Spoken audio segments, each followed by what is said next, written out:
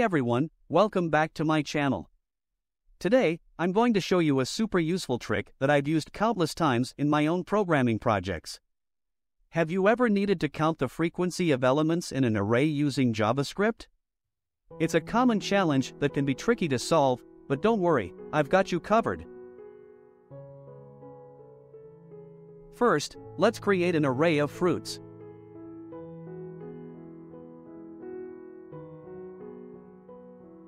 As you can see, we have an array with 6 elements, 3 apples, 2 oranges, and a banana.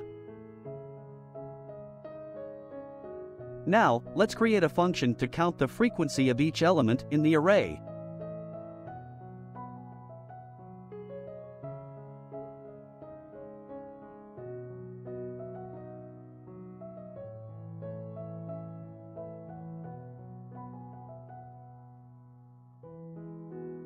Now, let's create a new map object to store each element and its frequency. Next, we will loop through the given array using for each method.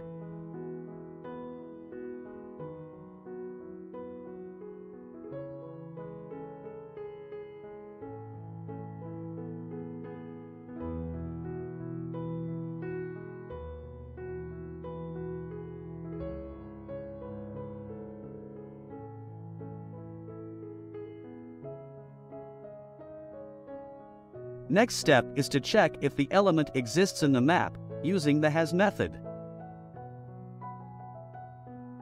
If it exists, it increments the value by 1 using the get and set methods.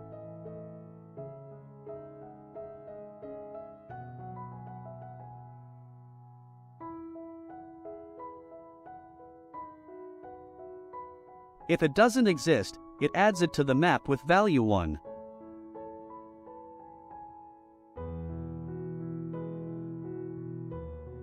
Finally, return the map.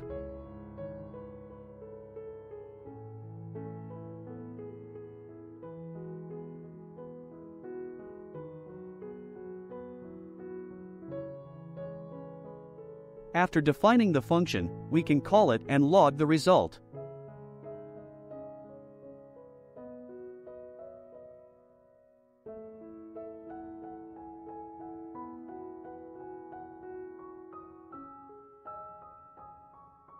Let's log the result in a table format, making it easier to understand and analyze data in a clear and concise manner.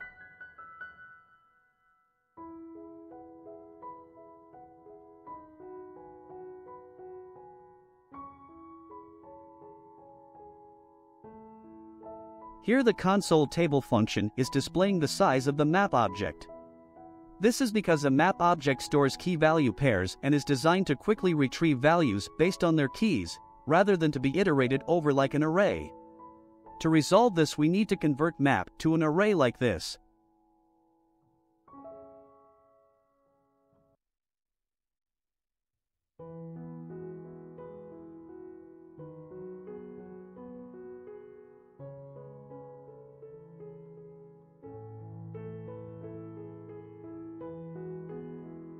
Here's the table with the frequency of each fruit.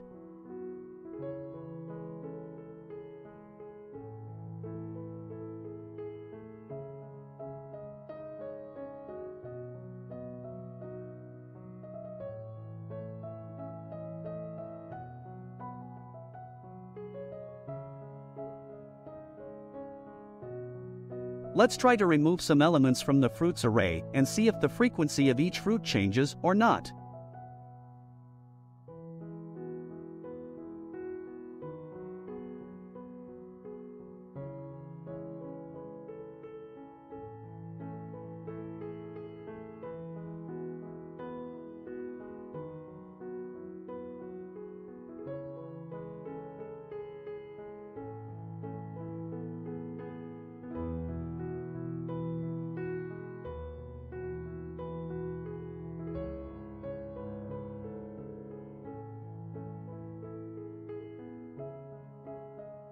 Congratulations, you have now learned how to use the map object in JavaScript to count the frequency of elements in an array.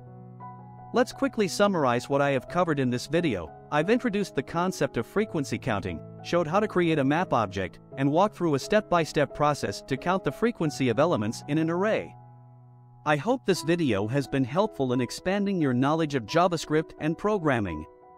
Don't forget to try this technique in your own projects and let me know how it goes in the comments section below. If you have any questions or suggestions for future videos, please leave them in the comments as well. Thank you for watching and for your support.